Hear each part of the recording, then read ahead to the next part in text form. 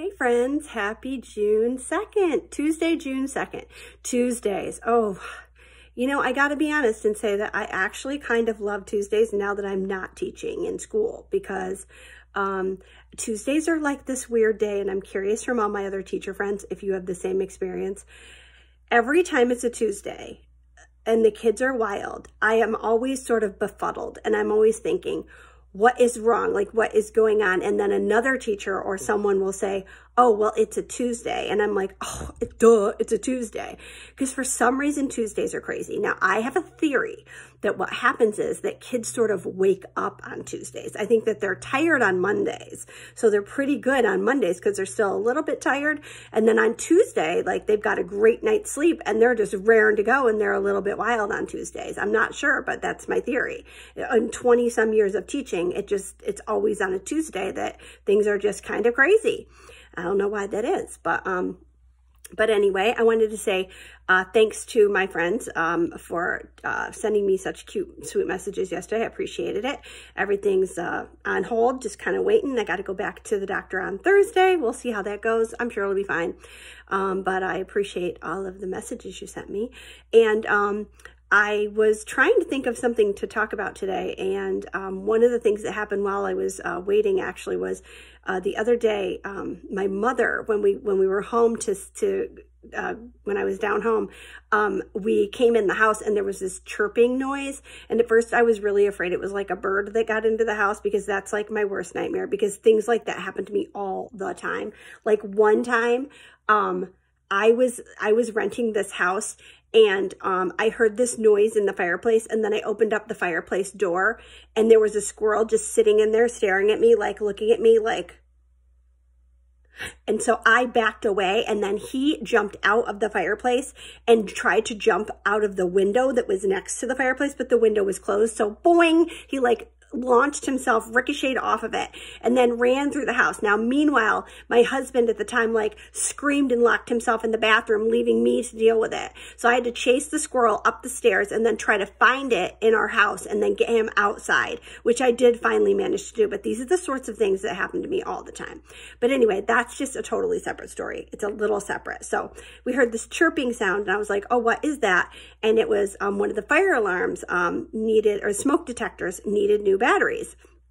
And I love every October when we do uh, Fire Safety Month because it reminds uh, the kids of all the important things there is about fire safety. And um, I was really proud of my mom for like knowing that that's what that was and that she had these smoke detectors.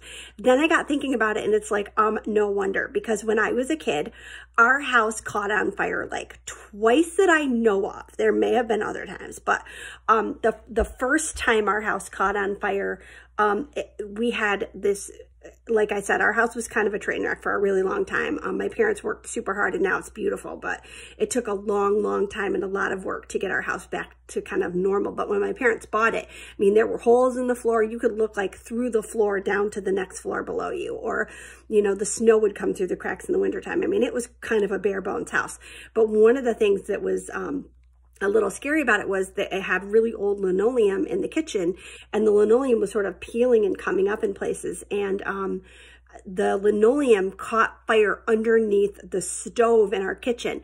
And I remember my mom yelled like, Shawn, Michelle, run to the car and get the fire extinguisher because my parents always carry a fire extinguisher in their car, which um, at the time didn't seem weird, but as a grown up, it seems a little strange and kind of also awesome.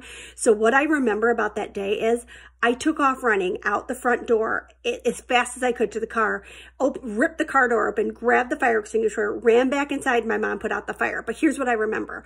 We had gone shopping earlier that day and um, I had gotten a pack of brand new socks, which sounds like nothing, but when I was a kid, we would get like we would only get like new stuff like really, really rarely, like usually in September, like back to school, we get one pair of sneakers, you know, one good pair of jeans, you know. So anyway, I just remember these new socks and I remember putting them on and thinking, oh my God, these are just heaven.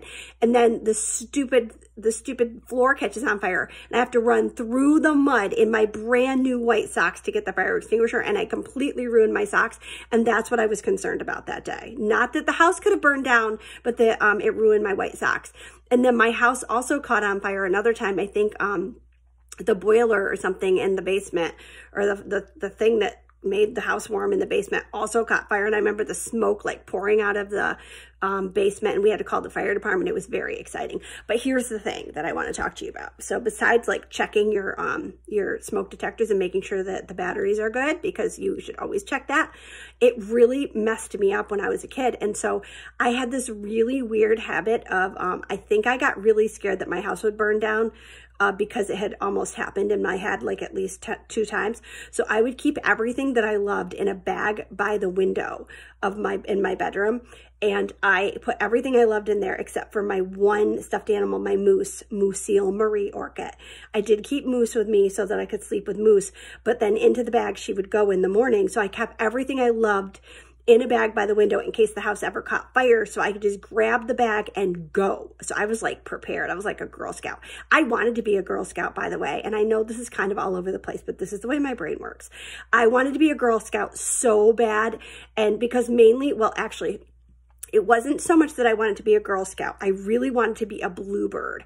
Now, I know nothing about Girl Scouts except that I did sign out the book at the library that told all the things you had to know how to do to be a Girl Scout. It's like, I think it's the Girl Scout handbook. Oh my gosh, I like memorized that book. I could have been like an honorary Girl Scout. But anyway, um, the point is I really wanted to be a Bluebird like really bad. There was a point to this and I have no idea what it is now. I have no idea. Oh, being prepared, being prepared. Yeah, but I wanted to be a bluebird really bad because they had these cute little hats with this little blue bird on them. They had like uniforms. And I wanted a uniform like really bad. Like I was super jealous of the Catholic kids in Olean that went to school and they got to wear the cute little skirt and the little outfits. Um, hello, I desperately wanted a uniform. Now later on when I was older, I definitely would have rebelled against that idea. But um, at the time I thought it was great. So anyway, there's some little stories. Um, I have no idea what my point was for today. Check your smoke detectors. Um, my little friends, if you are stuck for something to write about today, if you're in brownies or Girl Scouts or in Boy Scouts, I'd love to hear all about it. I'm super jealous. I always wanted to do that.